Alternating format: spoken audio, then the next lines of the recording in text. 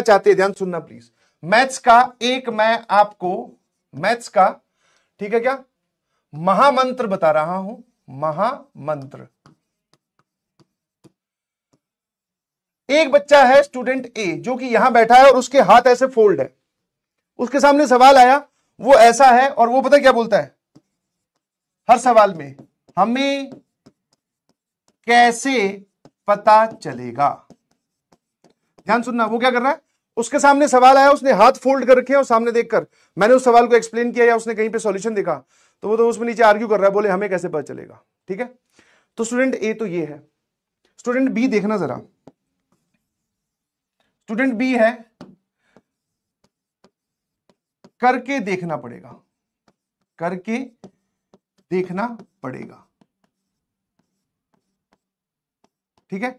Different different methods लगाने पड़ेंगे। Different different methods आपको चेक करने चाहिए।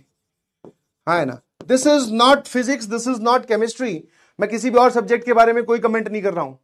बट हाँ स्टूडेंट ये एटीट्यूड रखता है कि उसने क्लास में बहुत सारे सवाल सॉल्व किए हैं। अब उसके तरीके उसको याद है कि सर ने ऐसा किया था, ऐसा किया था। करके देखते हैं। रोज को जोड़ के देखते हैं कॉलम्स को जोड़ के देखते हैं रो में से कुछ कॉलम लेके कॉमन लेके देखते हैं कॉलम में मल्टीप्लाई करके देखते हैं। तो इसका एटीट्यूड है, करके देखना पड़ेगा। आप इन दोनों में से कौन सी वैरायटी में, अगर आप इसमें लाई करते हैं तो प्लीज़ इसमें शिफ्ट हो जाइए। बिकॉज़ मैथमेटिक्स सीखने का सिर्फ़ यही रास्ता है। ठीक है? यहाँ पर आपके नंबर या आपकी ग्रोथ कुछ नहीं होगी। करके देखना पड़ेगा ही, एक तरीका है। करके आपको देखना ही पड़ेगा। यही मैथ्स का महामंत्र है जी। अगर आप भूले बिसरे इस कैटेगरी में लाया करते हैं तो शिफ्ट इनटू दिस। करके देखिए प्लीज़। एक सवाल को डिफरेंट डिफरेंट मेथड से अप्लाई कीजिए ट्राई कीजिए, ज़रूर वो सवाल अपना दम तोड़ देगा। सर, इसमें तो टाइम बहुत लगेगा। इसकी सिचुएशन तो ज़्यादा बढ़िया ये तो देखते ही बोलते रहे, हमें कैसे पता चलेगा? ये कुछ सीखा नहीं। आप टाइम लगा रहे हो, आप टाइम इन्वेस्ट कर रहे हो मतलब आप सीख गए। यस शुरुआत में मैं मानता हूँ टाइम बहुत लगेगा। बट शुरुआत में लगाया गया टाइम धीरे धीरे फ्यूचर में और पेपर में आपका टाइम बहुत कम कर देगा सवालों को सॉल्व करने वाला। ऐसे मुझे समझ गए?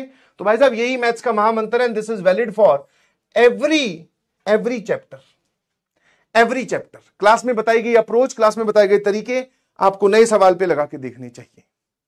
और उससे पहले आपको क्लास में पूरी जी जान लगा देनी चाहिए किसी चीज़ को सीखने के लिए।